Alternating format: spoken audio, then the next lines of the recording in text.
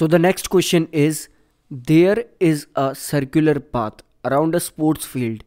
Sonia take 18 minutes to drive one round of the field while Ravi takes 12 minutes for the same.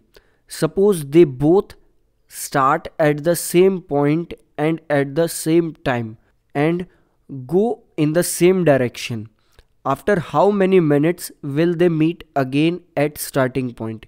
So question काफ़ी simple है कि सोनिया, जिसे एक circular field की round complete करने में 18 मिनट्स लगते हैं और रवि, जिसे एक सर्कुलर फ़ील्ड के राउंड कंप्लीट करने में 12 मिनट्स लगते हैं। सो ये दोनों अगर एक साथ स्टार्ट करते हैं रनिंग तो ये कितने टाइम बाद एक दूसरे को क्रॉस करेंगे? सो मेथड काफ़ी सिंपल है।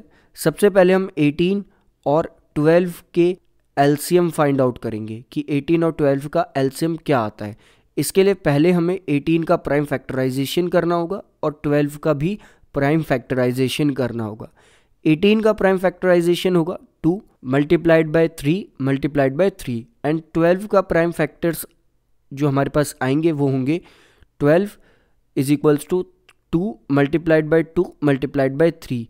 यहाँ से हम देखेंगे कि 12 और 18 में एलसीएम आएगा 2 की पावर 2 मल्टीप्लाइड बाई थ्री की power two that is four into nine is equals to thirty six यानी कि रवि और सोनिया अगर एक साथ स्टार्ट करते हैं रनिंग करना तो वो थर्टी सिक्स मिनट बाद एक दूसरे को दोबारा इंटरसेक्ट और वीकेंड से एक दूसरे से दोबारा मिलेंगे।